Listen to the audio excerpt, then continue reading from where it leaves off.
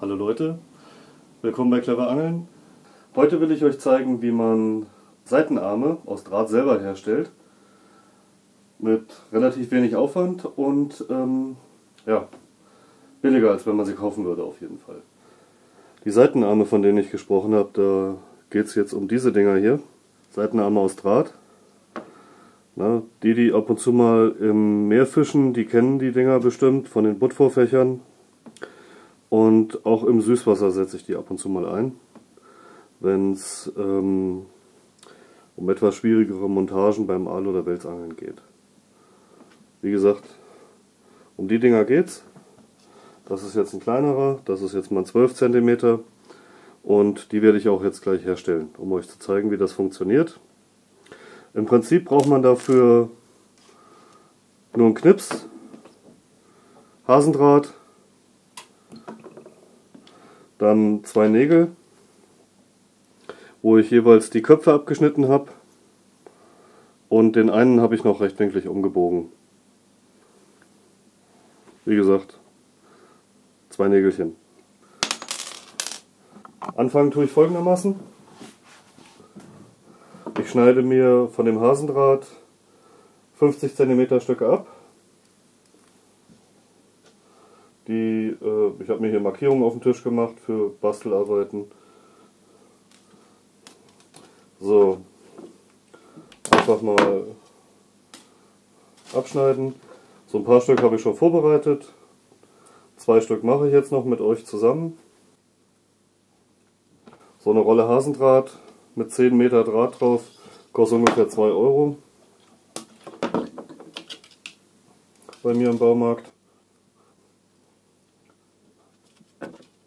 Auf einen Zentimeter mehr oder weniger kommt es da nicht so wirklich drauf an.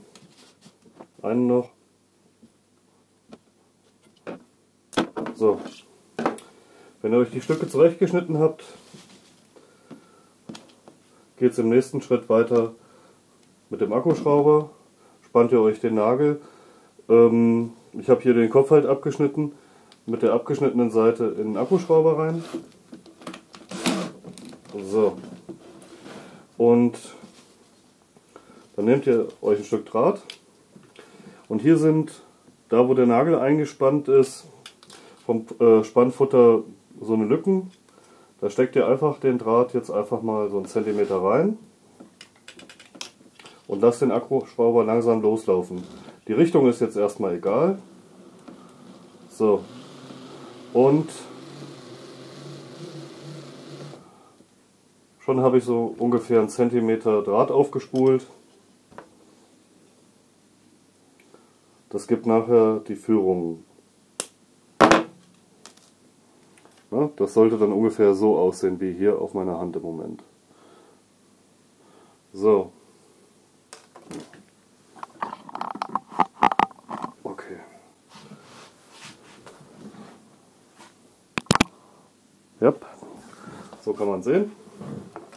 So, ich mache das Ganze nochmal mit der anderen Seite. Den Nagel habe ich hier eingespannt. Ich stecke den Draht noch dazu und dann lege ich einfach los. So, ein bisschen führen das Ganze. Und das war's. So, das überschüssige Ende kann man abschneiden, das ist Schrott. Und jetzt habe ich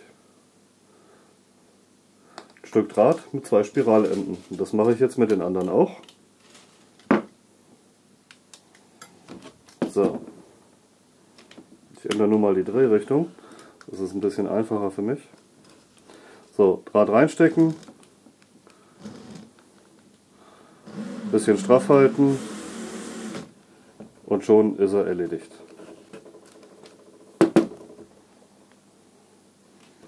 So, ich versuche es mal, so dass das gut zu sehen ist, zu halten. So, langsam losgelegt. Ein bisschen geführt und das war's. So. Das Ganze machen wir mit den ganzen Drähten, die wir vorher vorgeschnitten haben.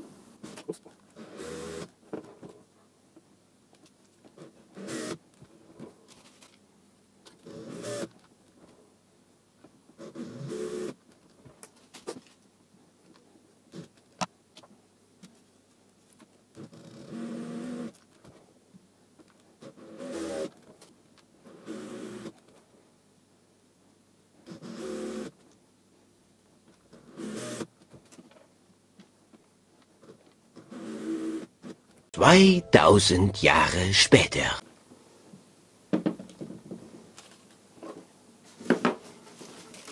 So, jetzt habe ich die Enden alle fertig. Ich knipse jetzt nur noch äh, die Überstände weg. Und dann kann es auch mit dem nächsten Schritt schon weitergehen.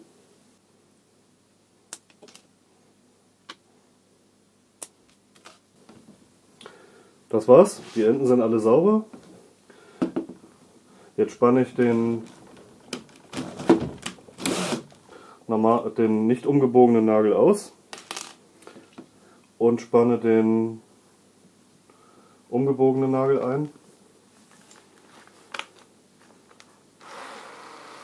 Bisschen Vorsicht, dass ihr euch da nicht wehtut. So, und jetzt habe ich hier einen Haken zum Drehen. Den geraden Nagel, den ich vorher hatte, den nehme ich jetzt und stecke, Entschuldigung, Frosch im Hals, stecke die Enden mit den nach außen zeigenden Seiten auf den geraden Nagel, den ich vorher hatte. Das sieht dann so aus. Und jetzt nehme ich die Schlaufe, die da entstanden ist, packe sie in den Haken, ziehe ein bisschen stramm und fange an zu drehen.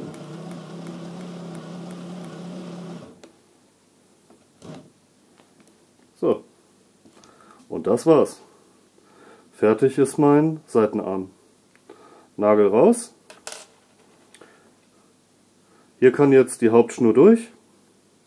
Hier Schnur durch, vielleicht noch ein Perlchen als Stopper und schon habe ich eine Seitenarmmontage. So, das mache ich jetzt mit allen Drähten. Außenseite nach außen, Außenseite nach außen, Nagel rein, festhalten.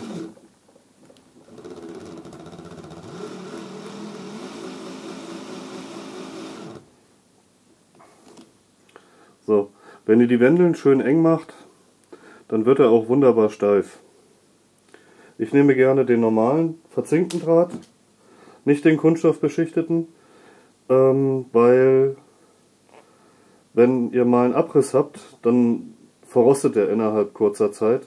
Der kunststoffbeschichtete würde relativ lange ähm, ja, im Meer rumgammeln.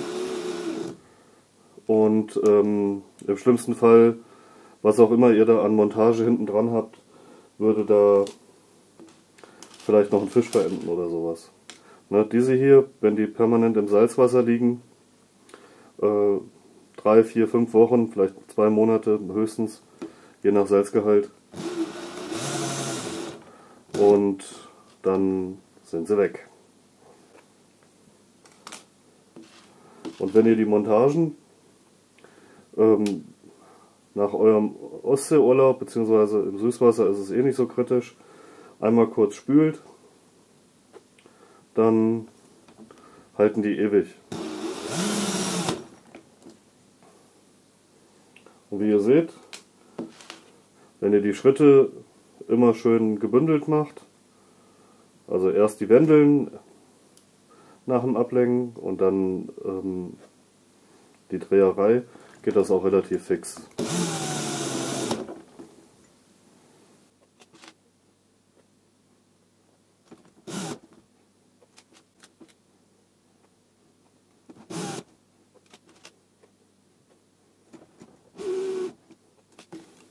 So, hier ist schon der letzte.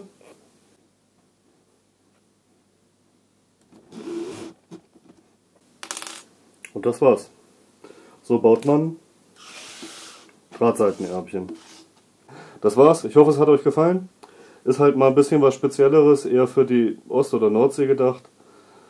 Weil äh, mit Drahtseitenarmen wird halt nicht täglich gefischt. Aber ähm, ich wollte euch mal was zeigen was man mit kleinem Geldeinsatz eben super selber machen kann. Okay, ciao, ciao, bis zum nächsten Mal.